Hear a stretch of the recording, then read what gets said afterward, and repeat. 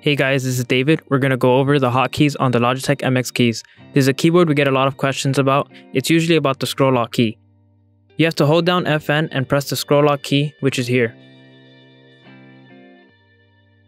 Hold down FN, scroll lock is in the top right, 1. Now you're in computer 1. Hold down FN, scroll lock 2. Now you're in computer 2. Hold down FN, scroll lock 3. Now you're going to have computer 1 on the left, computer 2 on the right. You're going to be controlling the computer on the left. To control the computer on the right, you hit right alt twice. Now you're controlling computer 2. Now if you want to switch the orientation, hold down FN, scroll lock 4. Now you're going to have computer 2 on the left, computer 1 on the right. You're going to be controlling computer 2. To switch the mouse and keyboard, press right alt twice.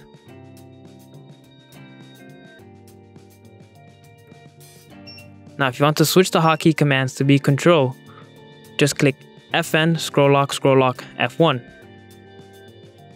Now FN scroll lock will not work because it is now control.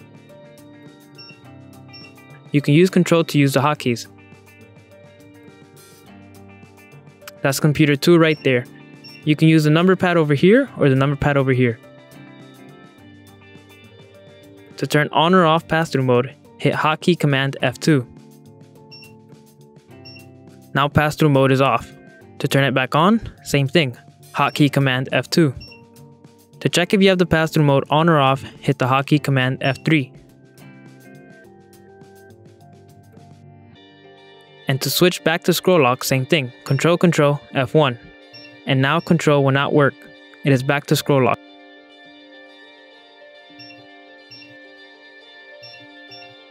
That's it.